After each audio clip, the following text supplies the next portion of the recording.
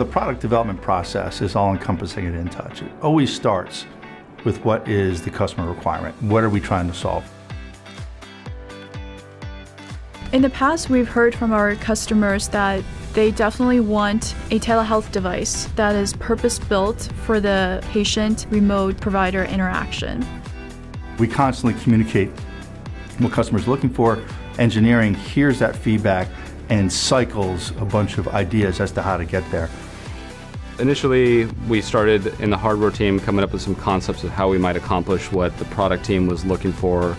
And we started drawing up some sketches and what we liked about the Vici, what we liked about the Lite, and we thought of how we could integrate that in a package that, that would make sense for, uh, for a new hardware development.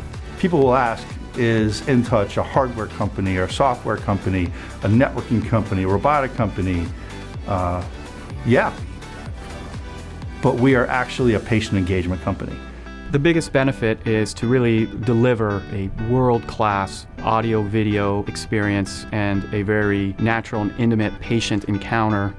In brainstorming with Joe, he really wanted to bring forth a next generation Vici, but he didn't want it to be a cow, a wow, or anything like it. The ability to come up with advanced gear mechanisms that allow for a motion to occur in a very cost-effective, compact fashion was quite liberating. We're able to prototype different enclosures, different shapes and aspect ratios, form factors, and test them quickly. The, the innovation behind Mini is we're able to provide the in-touch experience in a much lower cost product. One of the big benefits of developing the InTouch Mini is that we have a team that has been with us for, in many cases, over a decade.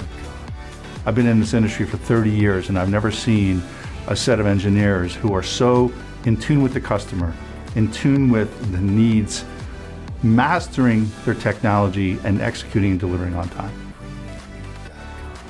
My favorite part in developing InTouch Mini was the team I got to work with. We have an amazing engineering, product, marketing teams at InTouch Health, and then we get to work with some of the most amazing customers out there. These hospital systems are on the cutting edge, they're really engaged with telehealth and interested in collaborating with us. The experience that we provide is second to none. We don't get comments that we need a better experience. The comments that we get are we need the devices to be more fungible, to be able to be placed in many different locations, and to be at a cost point that, that makes sense. I think the InTouch Mini delivers on innovation, that it is a system relying on the InTouch Solo platform to deliver the telehealth experience in a new way in a very holistic way. We certainly hit the mark in achieving the aesthetic to bring it in line with the Lite 4 while also achieving a high level of audio video performance. I think the look of the InTouch Mini is really incredible. I think it looks just like a Lite, much smaller and much lighter weight.